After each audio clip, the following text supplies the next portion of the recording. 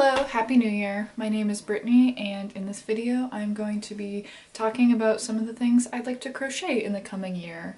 It is just about 2024 and I am looking forward to the new year. I've been crocheting for about a year now, so I'd still consider myself a beginner, but I do feel like I am fairly competent when it comes to crocheting, but there's a lot of things that I haven't tried yet that I would like to in 2024.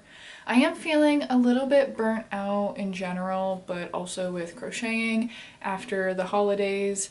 Christmas just passed and I crocheted a lot of gifts for loved ones I think I'm just trying to find some inspiration or figure out what I want to do next. I do have a couple works in progress that I'd like to finish in the new year, but um, let's go ahead and get started with this list of things I'd like to crochet. The first thing is something I'm probably going to finish today, and it's one of those ear warmers. Um, I only have about two rows left in it. I've made a couple of these so far, but I've given those away, so this one I want to be for myself, and I'm just going to do two more rows and then I will sew the ends together like this and turn it inside out and then it'll make a nice little Andes headband. I think I'm using the YouTube tutorial from uh, CJ Design. So that will be a quick one to start off the new year, or like I said, I might finish it today, depending on what I do after I'm done recording this video. Uh, the other thing that I am taking with me into 2024 is a big project and one that I probably won't finish for another couple months maybe. I am doing a vlog video about this so when I am finished with it I will be having a whole video talking about it but it is this giant blanket that I started in November. Um, try to get it all in the shot.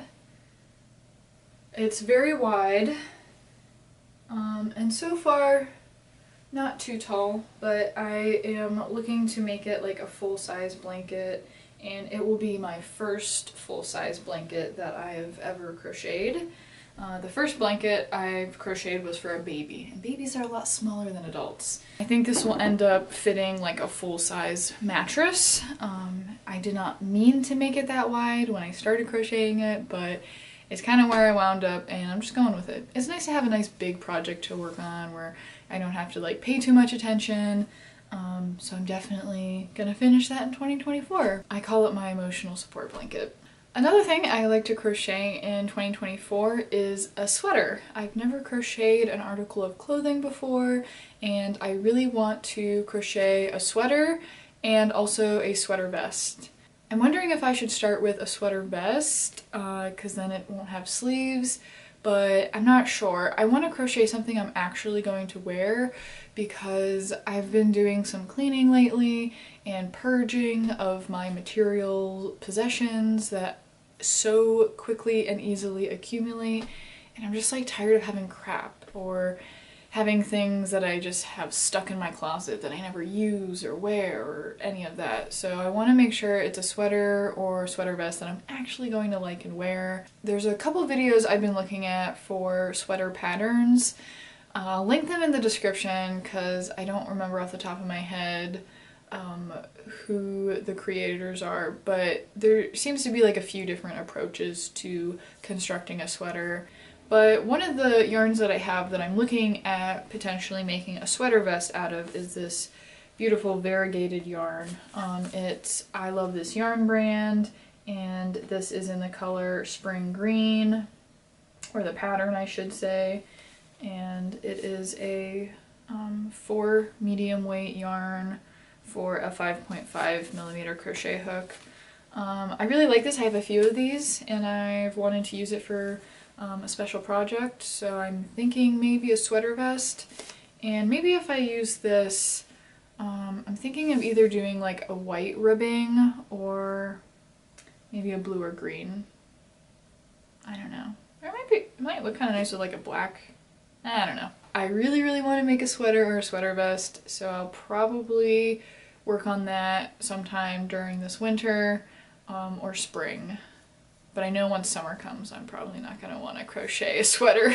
Another thing I would like to crochet this year is a scarf for my grandmother. She requested it in the color powder blue. I've made a scarf for my mom in like an olive green color and I gave that to her for Christmas and when my grandma saw that she said that she would like a sweater because I told her I want to crochet something for her as well and she requested powder blue so I'm going to be making my grandmother a scarf in that color.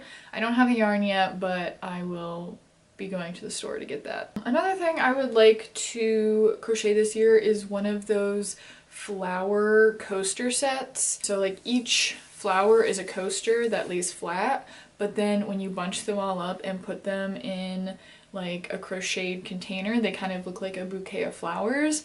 I've seen those on Pinterest and YouTube, and I'd like to try it myself.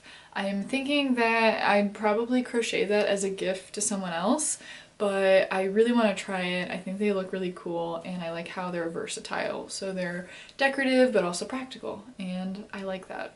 Something else I'm looking at crocheting this year is um, sort of like a doily runner. I tried out these flower coasters. I want to try maybe doing more of these flowers all in the same color and then sewing them together kind of um, like a runner or something that you would put on top of a dresser or an end table and I think that would be really easy and I think it would look really pretty as like just like a decorative accent for something like on here or on top of my bookshelf. So that's something else that's in the back of my mind to crochet. And these flowers are really easy. I don't remember how long they took me, but probably like 30 minutes, maybe. I know that like once I got the hang of it, they worked up pretty fast. I'd also like to crochet a collar maybe. I was just looking this up the other day, sort of like a Peter Pan collar and it would just be something that you would like button around your neck and it's literally just the collar part. The one thing I'm not sure about with making that is if it would look good. Um, I'm trying to think of like what clothing I own to where that would look good with.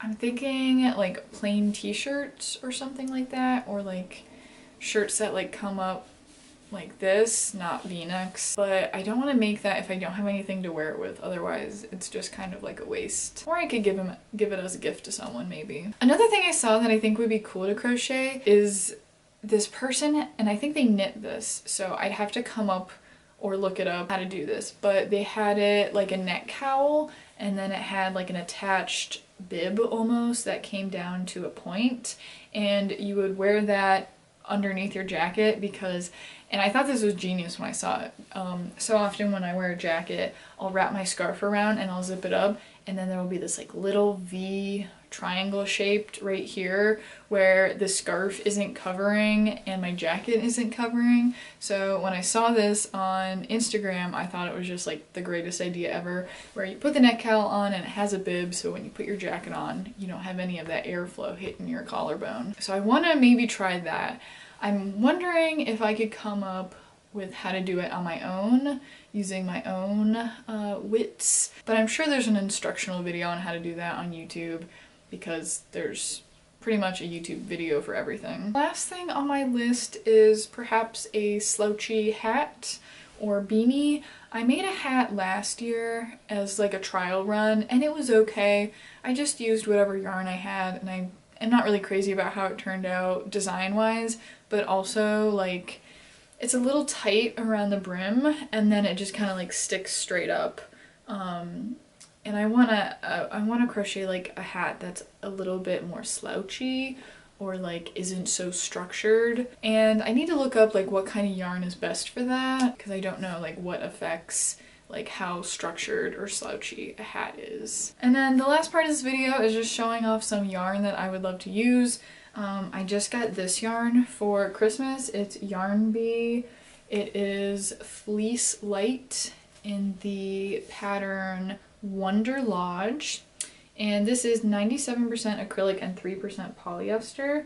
It's a 5 bulky weight for an 8 millimeter crochet hook and it's so soft. I have two of these. I really want to use it for something special because it's just really soft and really pretty. I'm wondering if this would make a good hat, like I was just saying, or I don't know. I'm not sure. But this is really pretty and I want to use it. And then I also have this really beautiful Yarn Bee Soft and Sleek Chunky um, yarn. It's 100% low pill acrylic. It is a 5 bulky weight for um, a 6.5 millimeter crochet hook. And it's in the color Sage. I really love this color. I think it's so pretty and I like, I love this yarn, this chunky low pill fiber yarn. Um, and I have it also the same brand in this olive green color. Um, so I have another skein of this olive color. I think that they would be really pretty together. And then I also have this Yarn Bee Soft and Sleek. This is black. Um, this is a 4 medium weight, but I'm thinking that this sage, olive, and black together would look really good. So I want to do some project combining these colors, but I just don't know what yet. These are some like yarn that I've recently gotten for my birthday in November and I want to use it but I'm kind of hanging on to it for a special project. Um, but I think I will do this for a sweater vest or sweater. But yeah, that's what I have in mind for crocheting in the year 2024. Uh, I don't want to give myself too many projects to crochet because I'm kind of like moody, like I'm a mood reader and I'm also a little bit of a mood crocheter so I don't want to crochet something if I'm not in the mood to do it. So I want to definitely give myself space to try new projects as I come into the mood to do them and as I see new and exciting ideas on Instagram and YouTube as so often happens. It's kind of like a blessing and a curse to have access to so many free crocheting tutorials because it's free information and I'm completely self-taught from YouTube. But on the other hand, it's also really overly exciting and overwhelming because there's just so many possibilities and I want to try them all and I don't have the time or the resources to do them all. It's a delicate balance of enjoying it but having some restraint and not overloading myself. Anyway, thank you so much for watching. Um, enjoy the rest of your day. I hope you have a happy new year and feel free to leave me a comment and let me know what you would like to crochet in the coming year. So, bye!